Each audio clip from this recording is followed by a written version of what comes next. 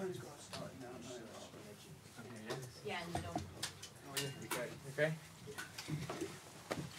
What's really hot? Huh? It's boiling in here. Better than Freezing in the indoor hall and boiling here. recovery. Yeah. Contrast. Do have to put this on or not? So we'll just put that on if we have any Portuguese Yeah. um, questions. Cool. Hey guys. Um, Damesh, shall we start with you? Yeah, sure. Hi. Hi. Okay. Um, just reflecting on the weekend, really good weekend for Arsenal. You, you're top of the league. How much confidence do you take from that going into tomorrow night? I think we take a lot of good things from that game. I think it was a really good um, practice um, for this game coming up. I think we had to deal with a lot of different situations, a lot of time wasting, and um, yeah, we had to c- in- control our emotions the whole game, and I think we did that brilliantly. So yeah, I think it was a really good practice for for another big game, and uh, and we did really well. And uh, as you say, top of top of the table. So of course we have to build on on that momentum and and the good feeling we have at the moment. So yeah, that's the goal to keep that going. With the Premier League, the outside noise seems to be focused on Liverpool and Manchester City. With the Champions League, it seems to be focused on City and Real Madrid. Does that suit you and Arsenal? Sorry, can you repeat that again? Sorry. So the outside noise seems to be focused on Liverpool and City predominantly, as far as the Premier League is concerned, and City and Real Madrid to a certain extent with the Champions League. Does that suit you, Yeah. maybe going under the radar a little bit? Yeah, to be honest, I don't know if, if that's the case. I haven't thought about it that way, but I think all the big teams they play with so much pressure. I think when you play in the biggest league like we do at the moment, um, there's always big pressure and you have to deal with it. It's the same for Champions League, the biggest tournament, you know. So playing big games, playing in a big team, um, there's always a lot of pressure and you have to deal with it. Um, it's just a part of football, and I think we're we're all so used to that now. So um, yeah, it's just a part of the game, and uh, and we enjoy that pressure as well, you know. You came so close last season. What feels different this time around? What do you think you've learned? I think first of all we're a better team. Um, of course, we've made some good signings, but also the the experience, uh, what we learned last season. I think we've been using that in a good way going into this season, and uh, I feel like I've said that many times. You know, I feel like that's what we've done the last few years. Um, missing out of the Champions League the year before we came back stronger, and then last season obviously was a really tough end for, for all of us. But I think I think we've learned a good lesson, and uh, and hopefully now coming towards the end of the season we can we can show that and uh, and use it in a in a good way. Just the final one for me. That Porto game away from home just seems to stand out compared to everything else that has happened since the FA Cup tie against Liverpool. What do you feel you need to do differently? What went wrong there compared to your league form? Yeah, I think we spoke about it a little bit already after the game, um, but we didn't play our best game. Um, we weren't good enough on the ball, um, and uh, we've looked at all those things. And and straight after the game, I think all the players we just spoke together and, and knew what we had to do different already. Um, but yeah, as you say, it's, it's the only game we didn't win now in the, in this year. So I think that's that's enough motivation, you know, to come back and, and show a different side tomorrow. So we're all really really ready for the game and, and hyped up. So it's going to be a good one. Thank you. Good luck. Thank Thanks, you. Damesh. Mark? Right, Martin. Do you Hi. think after what happened and the way the team lost in Porto, that there's a, there, might, there might be something to prove almost tomorrow night? Um, yeah, I mean, every time you play, you want to prove something. I think, um, as you say, especially after what what happened there, and uh, if you compare that game to the other games we played recently, is uh, as you say, the one that stands out. But um, as I said, I think the feeling after the game was that we weren't good enough ourselves, and that's a good thing. We can change ourselves, and um, that's what we're going to try to do tomorrow. You know, we've we've looked at the game we played there. Uh, we all have the feeling what we have to do different, so we have that very clear, and um, and uh, and yeah, we are so ready. Most of the team that would be involved tomorrow night won't remember when Arsenal last got to the, the quarterfinals. Is there a bit of a, a weight of history on you guys, or do you have to forget about what, what's gone in the past? I think you can't think too much about the past, but obviously you want to keep building your, your own history, and and we want to do some amazing things with this team, and um, and that's our goal, that's our focus, um, to focus on us at the moment, and uh, as you say, is is something really nice to play for, uh, to go through in this tournament. You know, um, it's a big goal and a big dream. I think for all the players playing in football today, you know, to go far in this competition. So yeah, that's a massive motivation for all of us, and that's what we're playing for. James? Cheers. Hi, Martin. Hello. There were 36 fouls in the first game, which is the most there's been in any Champions League game this season. Balls in play for about 50 minutes, which was way down on the average. W- When you've watched it back and you reflect on that now, do the players have to handle that kind of gamesmanship a little bit better if it happens again tomorrow? Yeah, of course. I think, um, as you say, you know, there's so many different things going on in, in each game, and uh, yeah, this game was uh, was one where the ball was out of play a lot, and um, and a lot of stops and starts and restarts and all this, and I think you saw that also against Brentford. You know, it was a similar game, and as as I said in in the beginning here, I think we we dealt with it in a in a brilliant way, and um, and yeah, as I said, I think that was a good practice. You know, and. Um, I think we already showed in that game what we learned in uh, in Porto. So hopefully we can do that even better tomorrow. And uh, first of all, we we want to play our game. You know, we don't want to focus too much about them and what they are doing, but we want to play our game, and uh, and that's the main thing. Jordan? Hi Martin. Um, when you made your big move at a very young age, it was expected that you'd be playing Champions League knockouts, you know, forever almost. Can I just ask you, during those years where you were out on loan and not playing away from Real Madrid and far away from that stage, you know, how far away did it feel for you? Did it, and did you always believe you would get back there? Um, yeah, I always believed that I was gonna um, uh, make it, if you can say it that way. But to play big, big games and Champions League, you know, in the biggest leagues and, and all that, I always had that belief. But yeah, I think football is just um, doesn't always go as you expect. Um, course, when I signed for Madrid, the, the plan was not to go on loan in in the Netherlands or in Spain or whatever. But um, that's football and that's life. Something something happens and you have to deal with it. And I think that's that's what I've done well. You know, on my road, I've just dealt with everything that happened to me and worked hard and and found my found my way. You know, so yeah, I think it's all a part of your journey and you have to deal with it. And, and I think all the things that happened to me made me stronger and, and a better player and a person today. I just wanted to ask you about the level of responsibility that the manager gives you. Um since since January, you know yourself, White, Saka, looks like things have just clicked. But how much is he giving you responsibility on the pitch?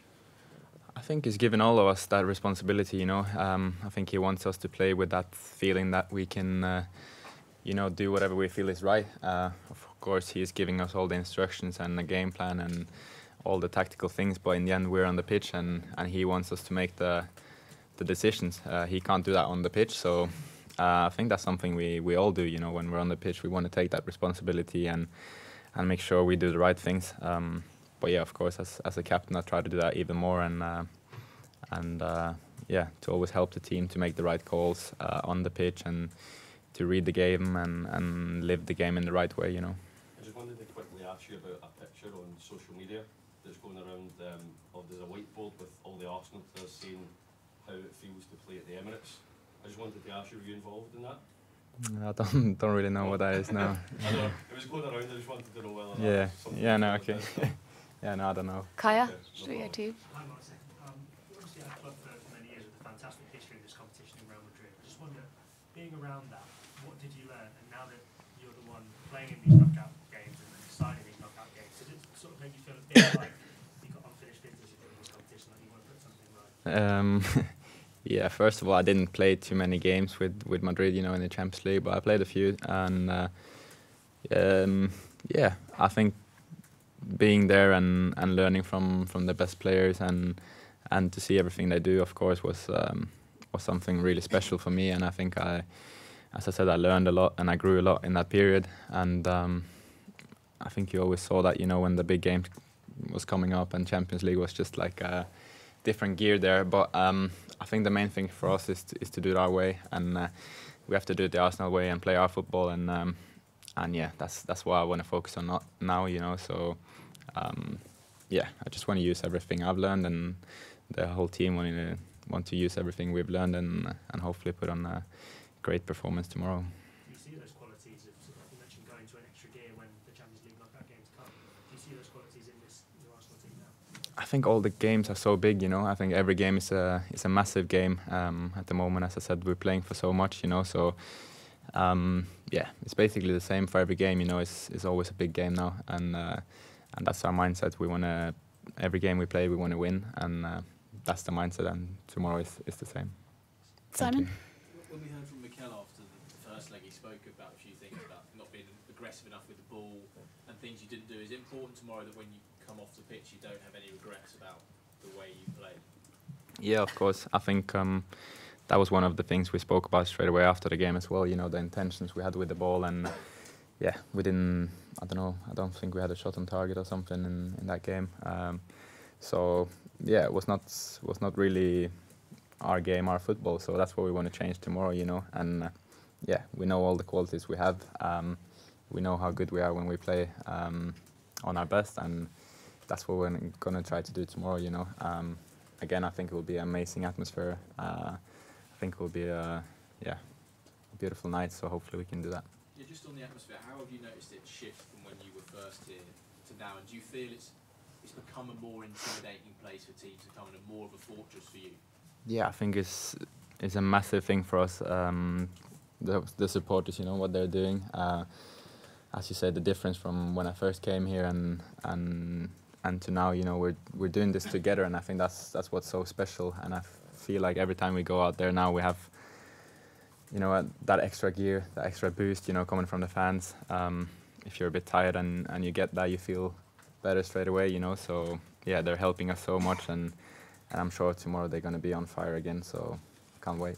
Just lastly, the Arsenal in terms of Europe haven't won a major European trophy. For you as players, do you see that as something exciting that you know you have that opportunity to, to make history rather than thinking, you know, the pressure of no one's ever done this before? Yeah, I mean, as I said before, uh, we have to focus on ourselves and we have to focus on on what we can do and the history we can do. You know, so uh, that's our goal. Uh, we're Arsenal. We want to win trophies and we want to fight at the biggest stage and play the biggest game. So, yeah, tomorrow is a great chance to to show that. Okay, last two on this side. So Isan first, and then we'll come across. Hi Martin. A couple of weeks ago, Mikel made a joke about pinching players in training to teach them the dark arts. Ahead of the Porto game, I'm sure um, it will be a very feisty uh, encounter. What kind of things have you done to prepare for like, the dark arts kind of thing of the game? I think it's it's just uh, a part of football. You know, you have to deal with a lot of different things. You play against different teams um, that approach approach in a different way, and it's not like we've done anything crazy. We're just pre- preparing for the games we play, and and that's all. And yeah, as I said before, the main thing is to focus on ourselves, um, to focus on all the things we can do, all the things we can control, and um, and that's what we're going to try and do tomorrow, and uh, and uh, hopefully be a, a good night then. So um, Porto centre back Pepe, he's 41, the same age as boss Mikel. What does he bring to the table, and what's he like to play against on the pitch? From the from the stands, he does seem to be quite aggressive, quite forthright. What's Mm. like to play against? Yeah, I think I have so much respect for him. You know, I, I played with him a bit in Madrid as well, and and I know him from that time. So he's a great guy, and um, what he's doing now, you know, at that age is um, yeah a lot of respect to him to to be able to keep going like that. So great player, um, aggressive, strong in the duels, and uh, yeah, great defender. So um, he's a good player, and uh, and fair play to him for for keeping it going so long. Hi Martin. Um, we just had Mikel here and he spoke about the unity of the team at the moment, how strong that bond is between you players. I just wondered, what does it feel like being part of this team at the moment, especially as the club captain, and how do you try and foster that unity yourself among the players? Yeah, I think the the the bond we have, you know, the team uh, spirit and uh, and the team feeling we have is is unbelievable. Um, yeah, it's the best the best I've seen in, in my life being in in a team, you know. So uh, there we have something special for sure, and um, I think you can see that on the pitch now as well. Um, how much we enjoy playing together, and um, I think you can see more and more how we understand each other on the pitch. Um, how we move in relation to, to each other and, and all those things. So I think that's that's a brilliant thing, you know, to to be strong as a team and um, and I think you can see that on the pitch now as well. Cool. Last couple on this side, so we'll go to Sam. Hi, Martin. Um, Before the second half started on Saturday, I saw you whipping up the crowd before the ball got kicked. Hmm. How much did you sort of need to do that? How much do you feel like you need that sort of crowd support behind the team? Yeah, I think it's a it's a massive thing for us playing at the Emirates. Um, all the games we've played there now recently has been unbelievable. The atmosphere. Um, I think I said it after the Liverpool game was maybe the best atmosphere I've seen in my life, and then come again Newcastle and it's unbelievable, and then now Brentford and it's unbelievable. And uh, yeah, they, they they give us so much. You know, the fans, the energy they make. Um, sometimes you feel a bit tired, sometimes you feel a bit down, but then you hear that from the crowd and it gets the team going. So yeah, it's it's a special feeling to play there, and as I said, I'm sure they're going to be on fire again tomorrow. So so yeah, I'm looking forward to that. Sometimes fans aren't that patient. If you haven't scored in the first four minutes, Yeah. they'll get a bit agitated. Would you say that they need to sort of stay calm as well? Yeah, but I think I think they know what we need. You know, um, we've played some games there where we've where we've conceded goals, um, and the fans start cheering for us. You know, so um, yeah, the support we have is, is just unbelievable. So I'm not I'm not too worried about that. George? Martin. I just just simple question: How much are you enjoying playing for Arsenal at the moment? Because it seems like the team are just playing brilliantly, apart from that Porto game, but it's joy to watch as well. So, just what's it like for you to be captain this team and, and play in this team at the moment? Yeah, I love it. I mean, um, yeah, it's a, an amazing team to be a part of. Uh, as I said here already, the group we have is, is very special. Uh, the bond we have, um, we're really together, and um, of course, the football we're playing, I think, really suits myself and and of course the other players we have. So, yeah, we love it, and uh, and um, we're doing well at the moment. But still, I feel like we can do uh, a lot of things better, and. Uh, and that's the mindset we have as well. So it's it's, it's a great team and a great, great club to be a part of, and uh, yeah, I, I enjoy it. You played with Pepe nine years ago, so um, two questions in one really. Did you still expect him to be playing now, and how many dark arts did he teach you when you were at Real Madrid? Yeah, I don't know what I expected to be honest. He was always uh, a very professional guy, you know, taking care of his body and uh, and and working hard. So um, I'm not surprised he he's playing at. Um, I don't know if I expected this age, but I expected him to to keep on playing for a while. But um, as I said before, a lot of respect to him for doing that, and uh, and I think it takes a lot of hard work. So so fair play to him. And uh, yeah, I don't know. Uh, I don't know what I learned to be honest. I learned a lot of things there, and uh, and from him as well. He tried to help me with a lot of things. He's a really nice guy. So so yeah, I learned uh, I learned some things. Yeah. Cool. Last couple, Davide. Hi, Martin. Uh, when the season started, one of the issues you guys had in the Champions League was your inexperience. You seems to have been growing as a group together. Now we are, you know, knockout round. What do you think the team has learned playing the Champions League, and what do you think you need to learn to, you know, go to the next stage? Um, yeah, I think a lot of people have been speaking uh, about us as a as a young team and experienced team, but I think experience is not about age. I think it's about what you've been through. And if you look at our team, we have so many players who's been through a lot already, and as a team as well, we've been through a lot of things already. So. Um, yeah, I think that's that's what we have to use, you know, that in a good way, all the things that happen to us, and um, and uh, as I said, experience you can get in many ways. So, um, yeah, what we've been through, uh, what we're doing as a team, that's that's our main focus, you know, and, and to keep building on that every day and to keep pushing each other every day, and uh, and then we have to to show on the pitch what we're worthy of doing, you know. Cool. And last one from Jordan. Hi Martin. Um, you're quite a young captain and you'll be leading out Arsenal in a Champions League match at home. It'll Be a really proud moment for you. But how do you keep your own emotions in check? How do you stay calm?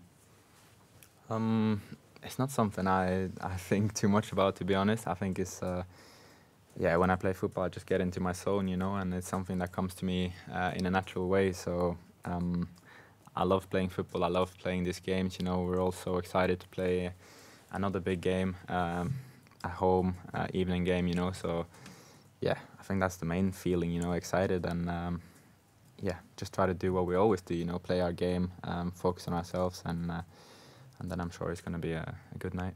And did you dream of these moments as a young kid growing up in Norway? Yeah. Yeah. Yeah, of course, of course. I think uh, when I was growing up, I was watching all the English teams, you know, the Premier League and, and Champions League. If if my parents let me stay up for, for that long, so so yeah, I've been dreaming of playing at this this stage for yeah my whole life basically. So um, yeah, we have to enjoy it and um, and make sure we we give everything. Cool. Thank you. Thank you guys. Cheers, guys. Thank you. Back out into the cold. No Portuguese. What a shame. Thank you guys. Thank you. The lightning coordinator. Well, us three will coordinate. Cheers. See ya. See you guys tomorrow.